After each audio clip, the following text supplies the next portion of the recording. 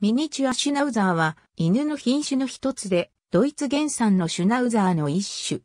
日本やアメリカではテリアグループに含められるが、テリアの血統は全く入っていない。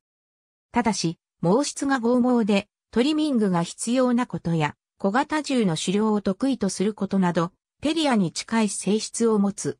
日本に入っているテリアグループの犬で、その名にテリアが入っていないのはミニチュアシュナウザーだけである。生まれたばかりの頃は、尾は長いが、すぐに短く切り落とされる。耳ももともとは垂れ下がっているものが多いが、一部を切り垂直に立った耳にする場合もある。古くからドイツにいたスタンダードシュナウザーの小ぶりな個体を基礎に、アーフェンピンシャー、プードルなどを配合して小型化した。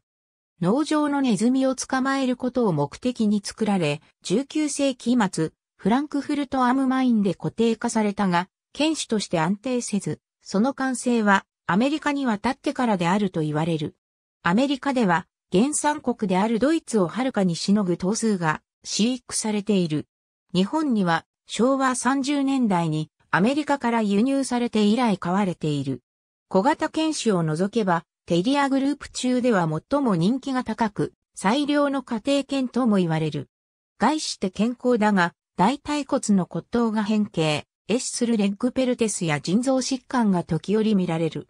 また、網膜萎縮症や若年性白内障などの遺伝的な眼科疾患を発症する可能性が高いとされている。また、尿結石もできやすい。オスメスともに30から35センチメートル。オスメスともに約4.5から13キログラム。ありがとうございます。